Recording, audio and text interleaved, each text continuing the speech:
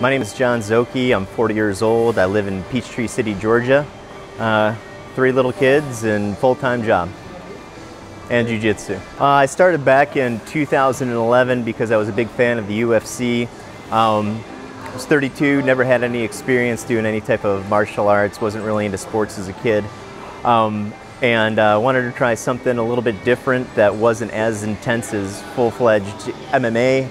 And I went into the gym and everybody was really cool and I started to realize that you could have that serious physical experience without you know, getting punched in the face, right? Which, you know, as an older guy, like I'm not really interested in that. So, well, it was it was all right. Um, I think that the thing that um, people don't understand about jujitsu is that it's only as rough as you make it. You know, it's, everybody comes in as a white belt. And they have, you know, what you call like, you know, white belt syndrome, right? Where they come out 150% as hard as they possibly can because they don't know what the heck they're doing. So their strength is their only asset.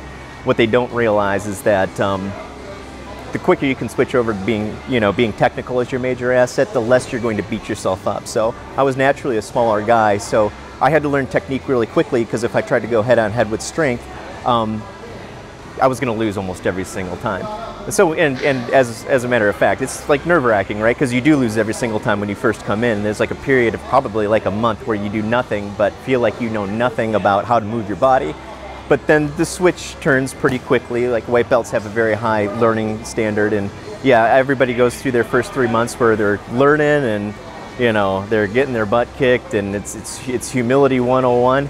Um, but if you can make it through those three months and you can kind of just switch off the aggression and think about it, then you know I think that that's where a lot of people like transition to being lifelong jujitsu people. Is like if they can make it past that that first that first hump. I mean, that's why I love jujitsu is because me as a smaller guy, I'm 155 pounds, 40 years old, and I came in with no experience, right? So me now, nine years in, it's like I have so much fun because I have these younger people, much bigger people, coming in, and it's like let's see what's up. Like, and uh, you know, as a 40 year old guy going out there and being able to hang with somebody that's much younger, much stronger, much bigger. It's it's a truly gratifying experience because it's not just aggression and like me like wanting to beat their butt. It's like no, it's like I'm putting together this puzzle that they can't solve and it's extremely complicated and things are tied together and I have to trick them and feint them and they think that they're doing one thing and then I can catch them up in some type of movement that they didn't expect and then I can turn it into like a finishing move.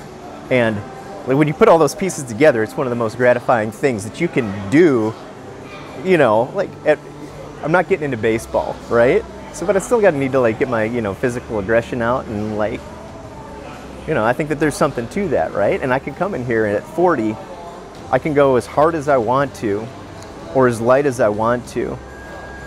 And uh, generally, you know, depending on who you're going with, they're going to reciprocate.